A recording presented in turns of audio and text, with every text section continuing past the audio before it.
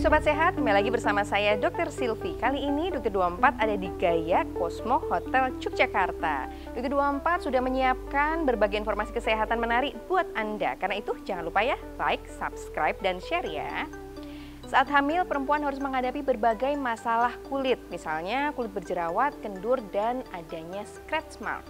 Hal tersebut terkadang membuat perempuan merasa kurang percaya diri dan ingin melakukan perawatan kecantikan. Eits, tunggu dulu ya, ibu hamil ternyata tidak bisa sembarangan loh memakai kosmetik. Jenis kosmetik apa ya yang harus diwaspadai oleh ibu hamil? Pertama, obat jerawat.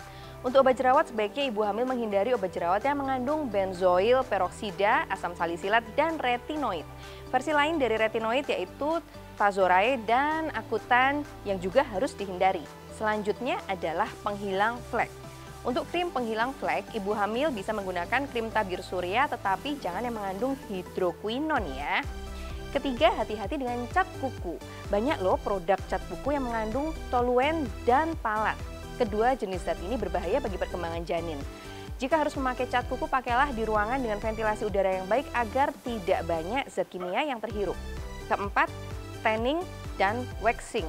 Kedua perawatan ini tidak dianjurkan untuk ibu hamil. Produk yang digunakan untuk tanning mengandung hidroksi aseton atau DHA yang wajib dihindari oleh ibu hamil. Sedangkan produk untuk waxing atau pencabutan bulu mengandung thioglycosilik acid karena berbahaya bagi ibu hamil. Nah, hindari juga produk-produk waxing yang mengandung asetil merkaptan, merkaptoasetat, merkaptoasetit asik, dan tiofanic acid.